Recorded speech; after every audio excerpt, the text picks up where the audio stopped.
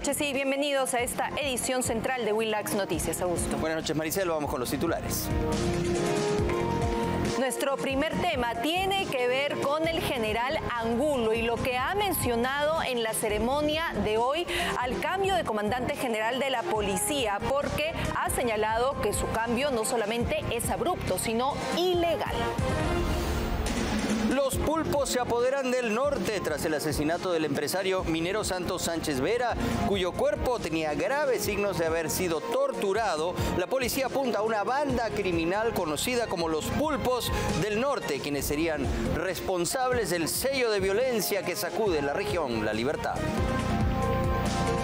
Se realizó una audiencia pública en el Tribunal Constitucional para revisar el tema del aumento de los peajes de rutas de Lima. El alcalde Rafael López Aliaga tomó la palabra y no solamente se mostró en contra, sino que señaló que de seguir estos aumentos los peajes podrían llegar incluso a los 17 soles.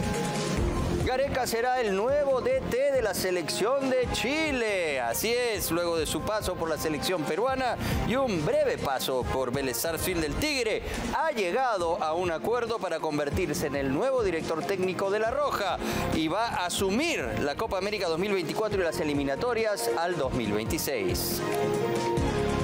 Son los principales temas que vamos a tocar en este programa. Nos vamos a la pausa y al regresar también hablamos de lo que está ocurriendo con la presidenta Dina Boluarte. Parece que en su entorno no se aprende de lo sucedido en Ayacucho y ahora están evaluando una visita a Puno.